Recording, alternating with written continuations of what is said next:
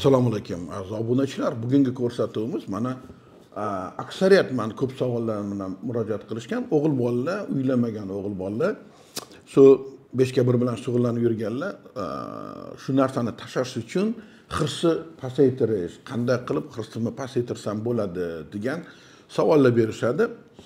Shu savollarga man bugun javob bermoqchiman. Gap shundaki mana bitta yigitimiz yozyapti man deydi o'sha shunga narsaga berilib ketganman juda deb o'zini juda haligi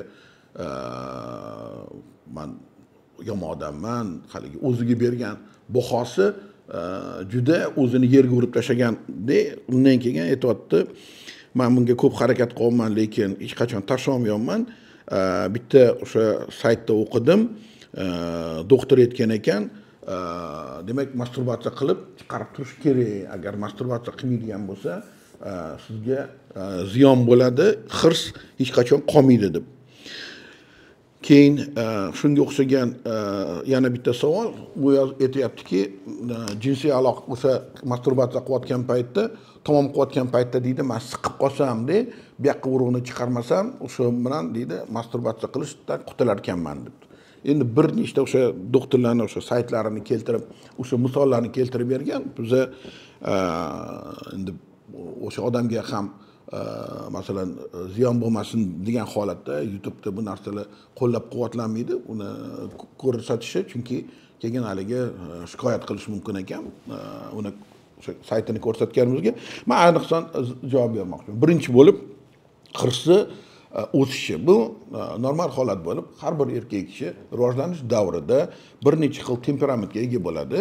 Kuchli temperamentli bolalarda polyutsiyalar har kuni bir necha marta ham bo'lishi mumkin. Shunaqa holat. Hali prezuremiya nima degan holat bo'ladi eyakulyatsiya degan e, barvaqt tomosh shunda paratsentralniy do'lkada повреждение bo'ladigan bo'lsa masalan kuniga bir necha marta ham o'sha bolada ixtilom bo'lishi mumkin va undan tashqari nimaga ham masturbatsiyaga ham ehtiyoj bo'lishi mumkin gap shundaki e, mana hozirgi aytilayotgan har xil o'ylab topilgan e, doktorlardan berayotgan maslahatlar beshga bir tashlash yo'lini topdim degan masalan urologlardan undan bundan haligi e, mantiqiy maslahatlar bo'lgan shularni ichidan to'xtab o'tmoqchiman.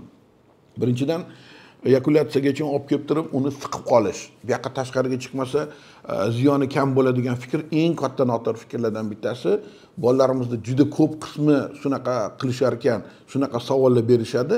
Gap shundaki siz eyakulyatsiya bo'layotganda siqib qoladigan bo'lsangiz demak bu tashqariga chiqmagandan urug' toshchasini ichida va urug' o'sha qolmoqni ichida uretrani ichida e, yopib qo'yganingizni hisobiga nimaga davolga bo'lgan bosim oshib ketib o'sha e, davollarida yoriqchalarni paydo bo'lishiga olib kelishadi. U keyinchalik chandiqqa aylanib uretrada o'sha siqilish e, struktura deyiladi.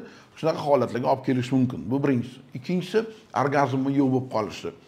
Ya'ni sizda to'liq yaxshi orgazm bo'lmagani uchun orgazm bosib qo'ygani uchun sizda miyada to'liq yaxshi e, o'sha ravshan eyakulyatsiya bo'lmagani hisobiga shu jinsiy yaqinlikka bo'lgan ehtiyoj kamaya boshlaydi shu ehtiyoj kamayganini ko'proq gapirib mana ehtiyoj kamaydi demak hirsim tushdi shunaqa qilsam yaxshi bo'larkan deb o'ziga katta ziyon keltirib qo'yadi keyin ertaga uylanaman yoki yaqinlik qilaman degan paytda o'sha libido yo'q o'sha muammolar shunga olib keltiradi hech qanaqa to'xtatish kerak emas keyin mana masturbatsiya to'g'risida juda ko'p gapiramiz yana gapirishga majbur bo'laman sizga masturbatsiyani ziyoni to'g'risida gapiriladigan bo'lsa birinchidan man aytamanki buni xudo bizaga harom dedi shuning uchun qilmagin deb aytamiz. Qaysi nimani harom dedi? Kino ko'rib yalang'och ayollarni ko'rib ko'z bilan zino qildirib o'zingni miyangdagi o'sha jinsiy shakllanishni bizib tashlaganimiz uchun shu narsani qilmagin deb doktorlar aytib berdi. Endi misol uchun bola o'syapti boshqa qildiryapti unda temperamenti juda baland polyutsiya bo'lyapti lekin o'sha masturbatsiya qilib masalan yoki qizlarda ham bolalarda ham shunaqa holat bor o'zini o'zi boshqara olmaydi qiyin bo'ladi ну agarda pornografiya ko'rmasdan qilinadigan bo'lsa fantaziya bilan boshqa bilan bu unaqa katta ziyonga olib kelmaydi eng ziyoni o'sha pornografiya ko'rib qilish to'g'risida aytyapman o'g'il bolalarni ichida agar bunday olib qaraydigan bo'lsangiz e, man adashmayman shu yetmish sakson foiz bolalar hayot davrida albatta o'sha e, masturbatsiya qilgan bo'ladi. Lekin porno ko'rmasdan qilgan bo'lsa ular muammo yo'q. Hayotda e, shuncha odamlar bor boshqasi bor demak o'ylab ko'ringki o'sha sakson foiz odam masturbatsiya qilib yurgan bo'lsa yigirma foiz masalan biz o'sha priyomda ham hayron qolaman ba'zida shu o'ntadan bitta ikkita bolalarda man hech qachon umrimda qilmaganman. Qilmagan nimaga? Xudodan qo'rqqanidan o'sha ilmidan boshqasidan o'sha boshidan o'zini olib yurgan bu narsa to'g'ri kelmaydi deb shuning uchun qilishmagan bo'ladi. Ularda lekin muammo yo'qku.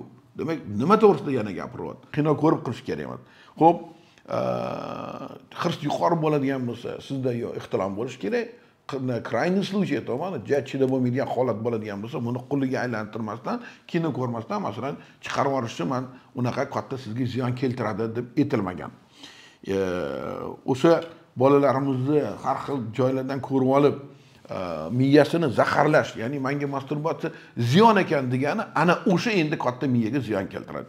Bu narsani miyadan chiqarib yuborish kerak. Hech qanaqa nimam yo'q. Buni birinchi o'sha harom degan olloh demak shundan man qaytishim kerak ekan deysiz qaytishni ham o'zini etaplari bor boshqalari bor. O'sha kinodan chiqib ketish kerak chiqolmaydigan bo'lsangiz keling psixologlarimiz yoki o'sha gipnologlarimiz yordam beradi bu narsaga. Eng e, nimasi? Zinama zina bu narsadan chiqib ketiladi. Oldin demak kino ko'rmasdan masturbatsiya qilinadigan bo'lsa masturbatsiyani kinosiz fantaziya bilan qilib yurgan bola uylangandan keyin bunga ehtiyoj ham sezmaydigan bo'lib qoladi.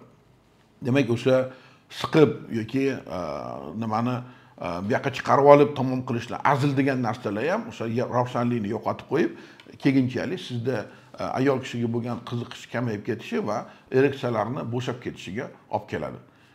Shu bilan bugun suhbatimizni tugatamiz o'ylaymanki berilgan shu javobimiz sizga juda asqotadi. Salomat bo'linglar. Xayr.